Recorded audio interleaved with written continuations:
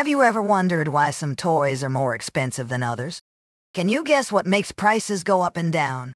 We'll chat with Farmer Quinn today and learn more about apple economics. Hello, Farmer Quinn. Hey there, Aldo. Hi there, kids. I'm Farmer Quinn, and I grow apples in my orchard. I also make delicious apple pies and other treats in my bakery. Do you like apples and apple pies? I hope so, because today I'm going to teach you some basic economics concepts using apples as examples. Have you ever gone to the store and had to pick between different pies? How did you decide which pie to buy? Which pie is the best pie for your money? We study questions like these in economics. Economics is the study of how people make choices about what to produce, consume, and exchange. It helps us understand how the world works and how we can make better decisions. Oh, I want to make better decisions. Knowing more about how the world works is important for kids like me. Indeed, Aldo.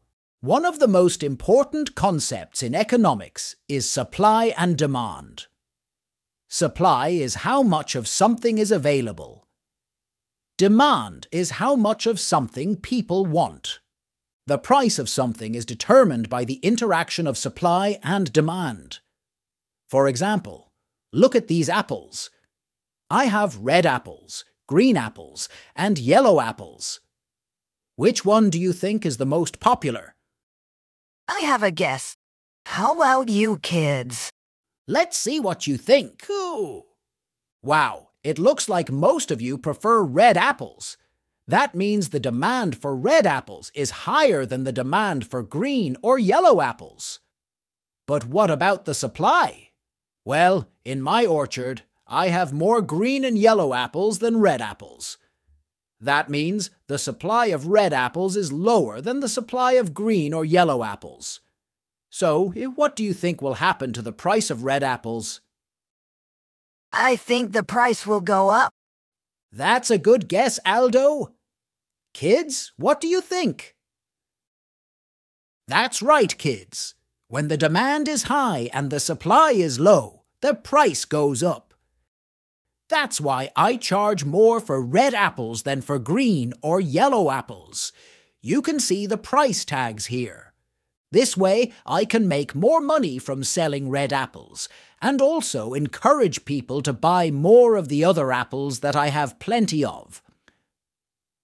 Another important concept in economics is cost and benefit. Cost is what you give up to get something, and benefit is what you gain from getting something. When you make a choice, you have to consider the costs and benefits of your options. For example, look at these apple pies. I have apple pie, apple crumble, apple tart, and apple turnover. Which one do you think is the most expensive to make? I think I know. What do you think, kids? Let's see your guess. That's correct, kids. Apple pie is the most expensive to make because it requires more ingredients and more time than the other treats. That means the cost of making apple pie is higher than the cost of making the other treats. But what about the benefit? Well, apple pie is also the most popular and the most delicious treat that I sell. That means the benefit of making apple pie is higher than the benefit of making the other treats. So, what do you think will happen to the price of apple pie? Let's see your answer. That's right, kids. When the cost is high and the benefit is high, the price goes up. That's why I charge more for apple pie than for the other treats. You can see the price tags here. This way, I can cover the cost of making apple pie and also make a profit from selling it. I really need to get into the apple business. It is hard work, Aldo, but I'm sure that you are up to the task. Another important concept in economics is allocation of resources. Allocation of resources is about how people decide how to use the scarce resources they have to satisfy their wants and needs. Resources are anything that can be used to produce something else, such as land, labor, capital, and time. Oh, maybe I should start an apple orchard in my backyard. My backyard is land, right? Yes, Aldo. Your backyard is indeed land. But what would you have to give up to turn your backyard into an apple orchard? I would probably have to get rid of the swing set that I have. Yes, Aldo, that's right. It would be harder to play in your backyard. We call that an opportunity cost. When resources are scarce, we have to choose what we do wisely. What do you mean by resources being scarce? Scarcity means that there is not enough of something to satisfy everyone's wants and needs. A good example is your backyard. You don't have enough room to grow an apple orchard. Keep your swing set and have room to play in your backyard space. That's a good point. The land in my backyard is scarce. I can't do everything I want or need in that space. Let's look at my orchard as another example. I have many apple trees, but not all of them are the same. Some of them produce more apples than others. Some of them produce better quality apples than others. And some of them require more water and fertilizer than others. That means I have to make choices about how to allocate my resources to grow the best apples possible. I know how you feel. I run into the same problem when I am setting up my webs. I don't have enough silk to set up a web that covers all of the area that I'd like to. So I allocate my silk for webs where I think they provide the most benefit. That is a great example, Aldo. This brings us back to opportunity cost. How do I make these choices? Well, I use a principle called opportunity cost.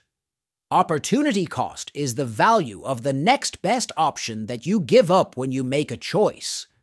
For example, if I choose to water this tree that produces red apples, I have to give up watering another tree that produces green apples. The opportunity cost of watering the red apple tree is the amount of green apples that I could have grown instead. To make the best choice, I have to compare the costs and benefits of each option and choose the one that gives me the most net benefit. Net benefit is the difference between the benefit and the cost of an option. How do you measure the costs and benefits of each option? Well, I use a tool called marginal analysis. Marginal analysis is the study of how much an additional unit of something affects the total outcome. For example, if I water one more tree, how many more apples will I get?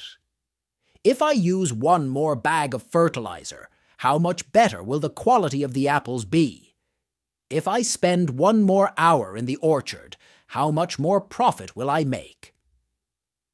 Marginal analysis helps me find the optimal level of resource allocation, where the marginal benefit equals the marginal cost. That means I get the most net benefit from using my resources. Wow, I need to try marginal analysis when I set up my next spiderweb. I should spend the smallest amount of time possible to catch the most flies. Yes, Aldo. Marginal analysis can definitely help you with that. I hope you learned something new today, kids.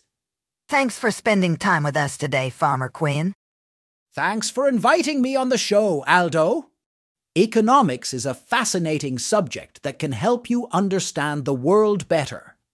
And remember, if you ever visit my farm, you can always buy some apples and apple pies from me. They are the best in town. Thank you for watching Sofia the Adventurer. If you found this video interesting, please give us a thumbs up and subscribe for more videos like this. Have a great day. Bye, everyone.